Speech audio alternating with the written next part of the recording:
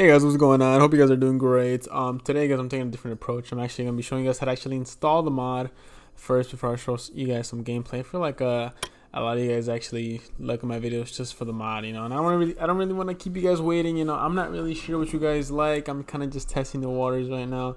Um, but if you guys prefer to see the actual tutorial before I show any gameplay, just let me know.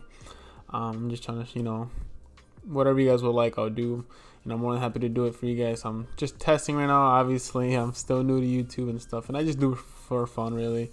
You know, I like modding. I like showing you guys how to mod. You know, I like having that that little uh, being part of a community, kind of. Um, so this is what I'm doing today, guys. So today, guys, I'm gonna be showing you guys how to actually install the next gen shader mod.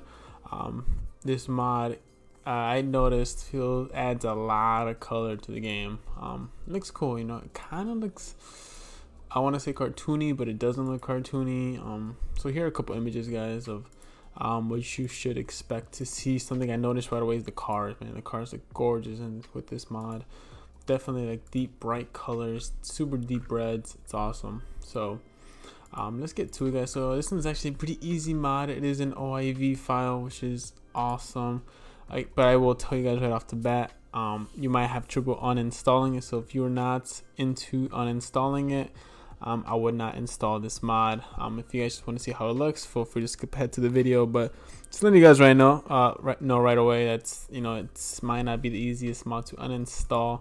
So I might not have the answer to you, um, unless you comment. Maybe I'll have it by then, but I'd say it's a bigger chance that I probably won't know. So you know, and then some people do um, some OIV files do come with the uninstall file, which is nice, but not all of them. Like I don't think this one does. So, um, so I downloaded the mod, guys. Once you click click download, once you actually have it, uh, and you make make sure you do extract because if you don't extract it, it will not work.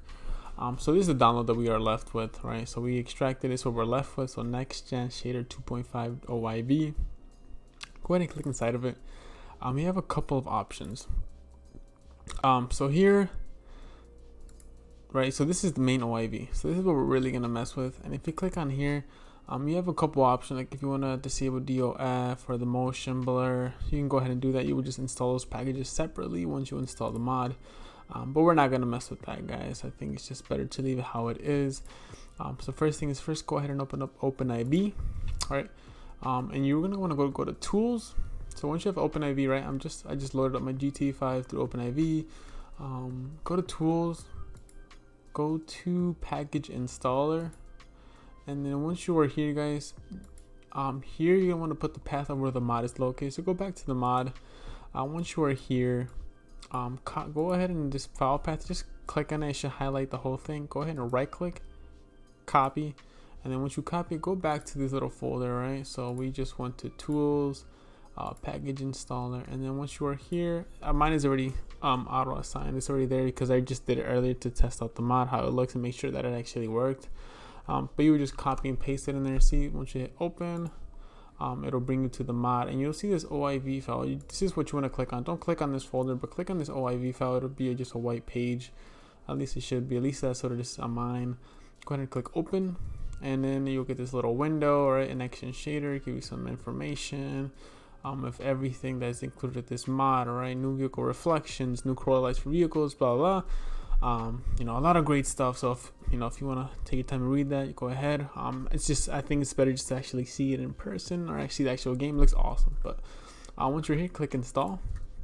Um, you want to click it on, you want to make sure it goes to your mods folder. In case you don't like it, you can just delete the mods folder um, and it'll delete the mod. So that's one way, right? Just delete the mods folder. It'll delete the thing, it'll delete the mod, but the thing is it might delete uh, all your mods that are in that mods folder. So, so once you have that, guys, um, I just installed it. Right, click, clicked on open up GT5. It'll automatically run it for me. And then yeah, I'm gonna show you guys some gameplay, see what actually looks like, and then I'll be right with you guys. Right. Alright guys, welcome back. So as you can see guys, I'm inside the game already, driving my Dodge Demon. I think it's my favorite car right now in the game. um, but as you can see, I think the first thing I noticed right away is definitely the car. Um, look how just how shiny it is, and look how red it is. How red it looks. It looks crazy, like candy. I don't know. I just I don't know, man. I don't know. It, it just looks really good. um, the color of the trees, the grass. Um, that's kind of what I meant by it. Kind of looks a little cartoony. Um, I, it's not really cartoony, you know, but just like you know how cartoons are super rich in color. It's kind of how this looks. And, and it, it, doesn't look bad. It, it, doesn't look bad at all, in my opinion. I actually really, really like it. Um, definitely a switch to the game, which is I'm all about. Um, but that reflection just looks beautiful. So, and I think I don't think it's just me, but another thing I noticed too is just every time I like look around, it's just different. It's like I don't know. It looks cool. I, I don't even know how to explain it. Uh, I think you just have to actually install the mod to find out, see what I'm talking about. It just looks, I don't know. Um, so yeah, it's pretty much the biggest things I noticed. I know it had some sun modifications. I know it has some like solar rings and it just it's just kind of a whole package. It just changes the whole game completely. So no, I'm just Jesus. Oh my gosh. Alright, so I'm in a plane now, and as you can see, I think even the purple from the the jet engine, it looks crazy. Oh, I forgot I had that mod on.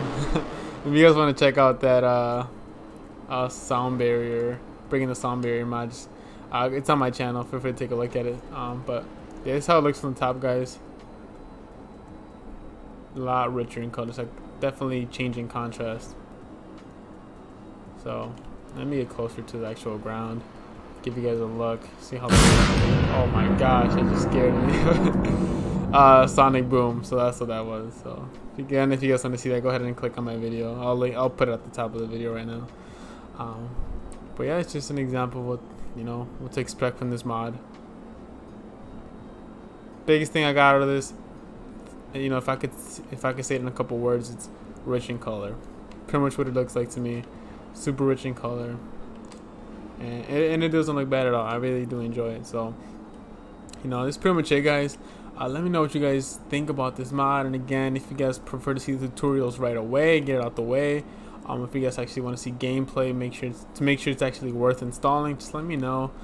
Um, you know I'm kind of just playing around right now see what works what doesn't work. So and I'm just you know taking all kinds of feedback from everybody that watches my videos. So uh, thank you guys so much for uh, click on this video. Thank you guys so much for watching. Uh, make sure you give this video a thumbs up. It would really, really help my channel. And I'll catch you guys in the next one. All right, take care.